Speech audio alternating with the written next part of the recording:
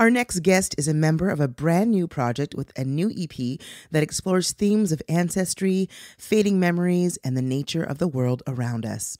Wayfinding's debut performance took place last summer at the Calgary Folk Music Festival, and they have been quickly wowing audiences and building a league of eager fans. The band includes musician artist Cassia Hardy on guitar, drummer and CKUA host Merrick Tyler, Matthew Cardinal on bass and keys, and with me today is vocalist and guitarist Ryan Beattie. Hi, Ryan. Thanks for joining me today. How are you? Good. Yeah. Thanks a lot for having me, Dawn. Awesome. So I'm I'm curious, how did wayfinding find their way to each other?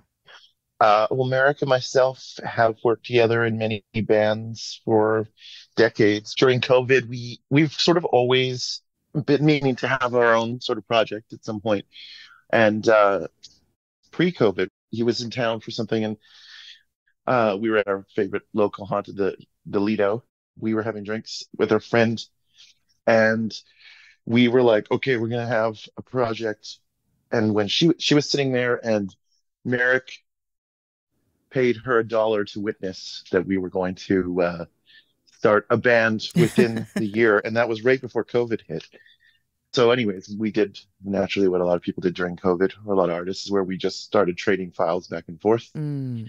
and we came up with the EP, and now it's sort of realized with Cassia and Matthew. That's sort of the origins of the project. Very cool. I'm curious, you know, the the band sound is like it's super eclectic. You know, there's elements of pop and electronica and I don't know, it's very expansive sounding. Where where does Wayfinding find its sonic inspiration? For myself, like I, it was just a bit a process of kind of throwing everything at the wall and seeing what stuck. And you know, Matthew is brilliant uh, synth player, and just sonically, I don't know, it just it just kind of came together through a through our collective sonic template, I guess. Yeah.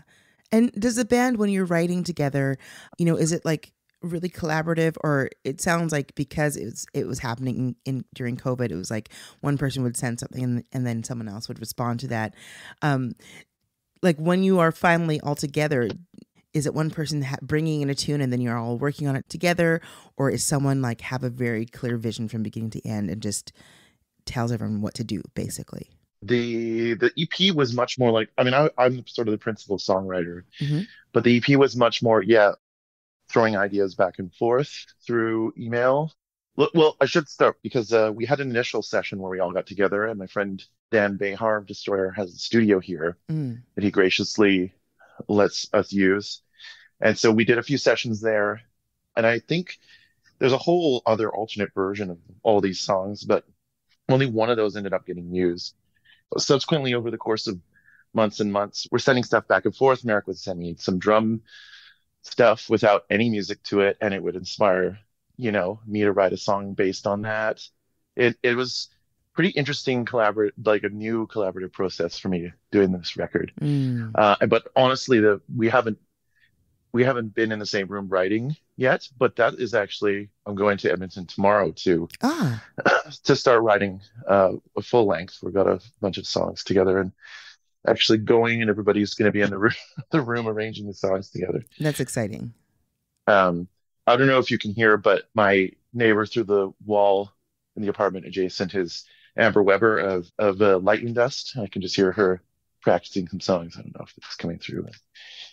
Oh, you know what? My that's my favorite thing is listening is like just the sounds of people practicing and around me like as the day goes on. That's really so exciting. And how cool. Yeah. How cool that you have that experience. Yeah. Um okay, Ryan, I have one more question for you. I would really love to play the track Thomas in a Rick James wig and I'm so curious, where did that title come from? It's literally about an old friend of mine who have uh, played and toured with Thomas Shields from the band Run Chico Run. It's a song about doing these extended month long sprawling Canadian tours and uh, when we were, you know, young and poor. And um, now we're just old and poor, but it's yeah, we, know, we know better than, than to do those tours like that anymore. Yeah. It was literally just about this one summer, and Tom, Tom's had this Rick James wig that he'd wear around. And it was it was just a story song, I suppose. Brilliant. Delight. The titles of the songs on this EP are just like they totally tickle me. Uh, they are so joyful and quirky in a in a really beautiful way. So, from the album oh. Wayfinding, here is Thomas in a Rick James wig. Thank you so much, Ryan, for chatting with me today, and uh, can't wait to see you live. Thanks very much.